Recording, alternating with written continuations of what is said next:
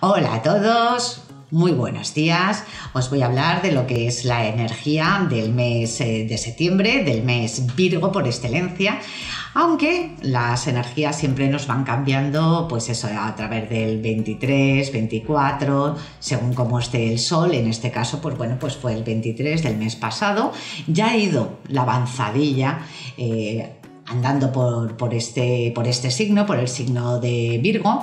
Y Virgo nos, eh, nos representa a todos la casa 6, ¿no? Así en líneas generales. ¿Y qué es la casa 6?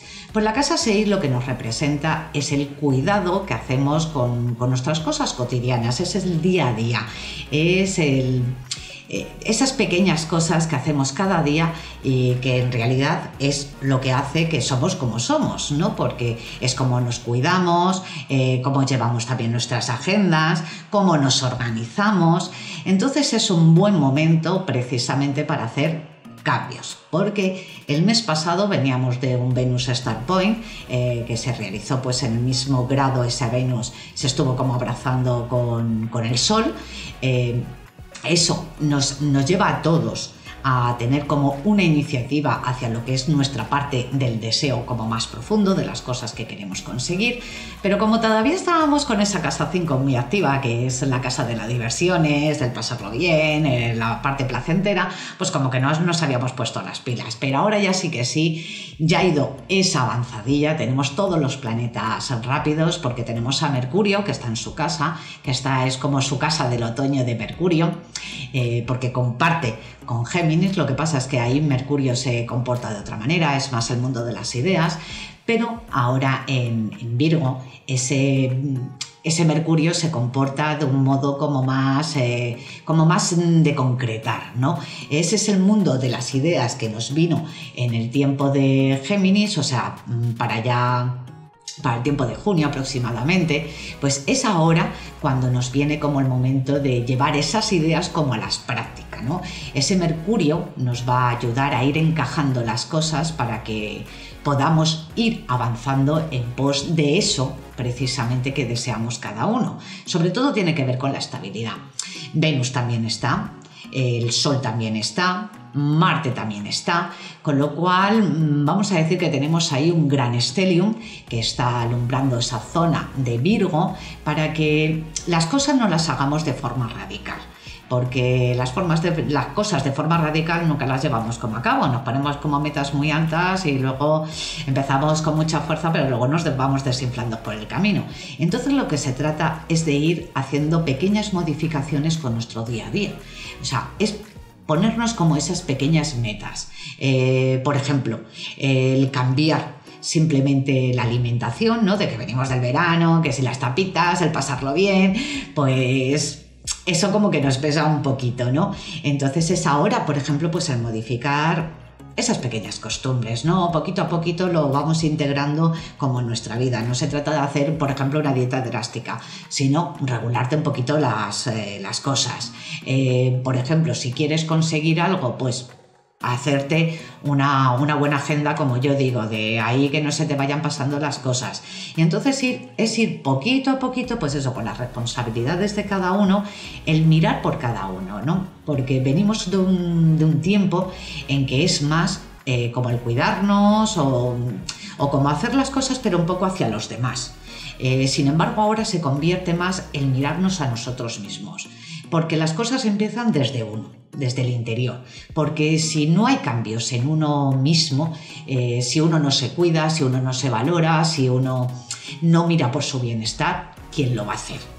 Entonces, si queremos que después eh, sí que nos salga como toda esta parte reflejada de que le podamos dar una vuelta a, a todas nuestras circunstancias, tendremos que ir empezando poquito a poquito a ir mirando más para adentro que hacia el exterior. No tanto eh, ver de alguna manera que conformamos como a los demás, sino que nos tenemos que conformar con nosotros mismos en el sentido de, no dejar como las cosas pasar, sino de verdad de trabajar para, uno mismo. Eh, luego, eh, la avanzadilla, vamos a decir así, de cara ya prácticamente para la segunda quincena del mes, nos va preparando la energía para entrar en el mes de Libra. Eh, primero lo hará Venus, que es su propio regente, ahí sí que va a entrar en su casita, que nos va a representar la casa 7, que es la, casa eh, de las buenas relaciones, de las relaciones importantes, tanto comerciales, de que podemos ahí llegar a buenos acuerdos en cuanto al dinerito, pero también en cuanto a las relaciones más personales, pero sobre todo de compromiso. Entonces, por eso, primero hay que trabajarse esa parte, vamos a decir, antes de que llegue como justo a nuestra mitad, que está como enfrente de nosotros, tenemos que ir trabajando las cosas eh, desde un poquito antes para poder conseguir realmente como esos buenos acuerdos. Y justamente el día 14, cuando entran estos dos, entran eh, tanto Mercurio que es el de la lógica, el que nos hace hilar bien las cosas, eh, el que nos hace como encajar, como yo digo, los puzzles en nuestra, vida, pero utilizando esa sagacidad y, la inteligencia de un modo bien aplicado, entra en conjunto con Venus y ese mismo día también se da la luna llena de este mes, que se va a hacer en el signo de Piscis porque es la luna llena del mes de Virgo. Entonces, siempre para que se dé una luna llena tiene que estar justo enfrente en oposición con el Sol. Entonces, ahí es un buen momento, todas las lunas llenas nos van a ir mostrando cosas de alguna manera que tenemos que soltar, que son de alguna manera como tóxicas en nuestra vida. Eh, por ejemplo, si tú tienes un mal hábito, pues igual. Eh, por eso, como se trata mucho de mirar por lo que es el cuidado de nosotros mismos, eh, de nuestra vasija, porque Virgo nos representa lo que es la parte más corporal de todos nosotros, también es buen momento como para hacer esas introspecciones, como para curarnos un poquito los traumas, o sea, mirar por ese bienestar interno, ¿no? Entonces, ya una vez que que bueno, pues que se dé esa luna llena en el signo de, de Piscis, Ahí nos va a mostrar eh, cosas que de alguna manera o bien que nos están ralentizando, o bien que no nos están viniendo bien para nuestra vida, o bien que son hasta incluso tóxicas en nuestra vida.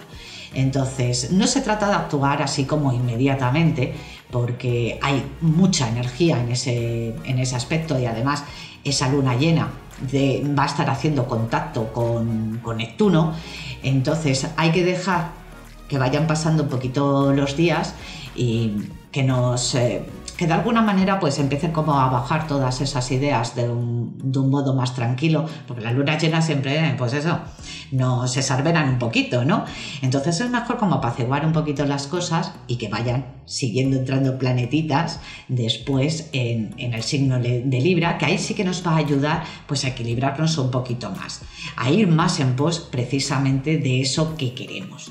Y bueno, pues ya casi finalizando el mes, concretamente el día 29, ahí sí que se dará la luna nueva, que es un momento de sembrar.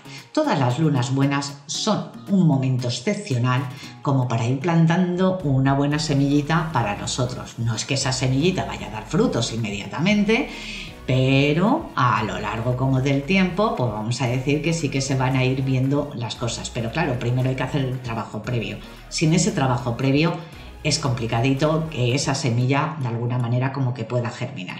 Esto es como labrar el campo, si tú no limpias de porquería el campo, eh, no le das ahí unos buenos nutrientes, aunque pongas una semillita, igual tienes suerte, pero vamos, lo más probable es que a lo mejor salga pero luego se ponga pocha. Así que, que ahora es un buen momento para trabajar en cada uno de nosotros, mirar por nuestro bienestar, independientemente de lo que los demás puedan pensar o lo que puedan querer mientras que uno como que no haga daño a nadie, pues eso todo está bien en este sentido. Y luego pues eso cuando vaya avanzando la energía y vaya entrando en un signo de aire, pues ahí es diferente. Nos va a suavizar mucho más las cosas, porque mientras que esté toda la energía en, en, tierra, va a estar haciendo buen contacto con Urano, que se encuentra en Tauro, y también con, con Saturno con Saturno y después con Plutón, porque se encuentran en Capricornio y también se encuentra el nodo sur, que es de evacuación, es de soltar cosas de nuestra vida. Luego, por otro lado, el que despierta también va a ser Saturno. Saturno desde finales de, abril se puso en movimiento retrógrado, como todos los años, eh, se puso desde el grado 13 eh, con lo cual vamos a decir que sobre todo toda esta influencia cuando espabile, cuando despierte, eh, va a estar influenciando a los del final del primer decanato de los signos cardinales sobre todo, que ahí es momento como para resolver cosas, y a los que sí que les va a influenciar de forma positiva son a los signos de tierra, puesto que lo van a tener como una especie como de piloto automático. Y bueno, pues sin más, espero que este mes os, venga muy bien, que sembréis muy buenas cosas, sobre todo para el final del mes, y que, bueno, pues al principio como que os pongáis al día con vosotros mismos. Así que que si te ha gustado, ya sabes, dame un like y comparte con tus redes sociales. Un besito para todos.